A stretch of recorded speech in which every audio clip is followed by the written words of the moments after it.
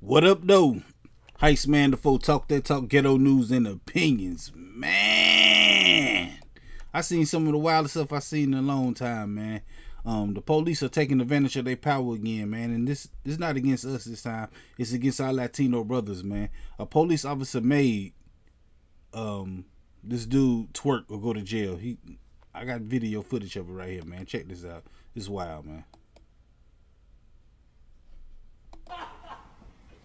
You can twerk or you can go to jail on public TikTok. I'm twerking. Wait, wait, wait, wait.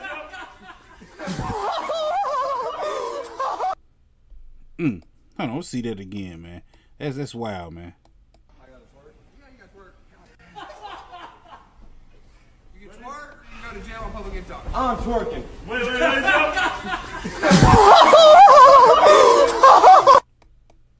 Man. He did that, yeah. That's wild. What is this? I don't know what this is, man. Take it off my screen. I got that from um what is it, media takeout, man. I seen this though. I said, man, that's foul, man. They taking advantage of their power, man. They told this dude he literally has to twerk or he going to jail for public intoxication, man.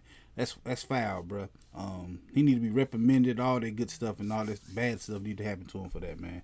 That's just wrong, man. But we gonna be talking about this like we do every Friday on this channel, man. I go live every Friday at 9 p.m. man. Y'all gotta come through and holler at me, man. Hit that like button, the comment button, the share button, the subscribe button, the notification bell, all them good buttons you gotta hit to get this pimping that I'm putting out when I put it out. And like I said, I go live every Friday at 9 15.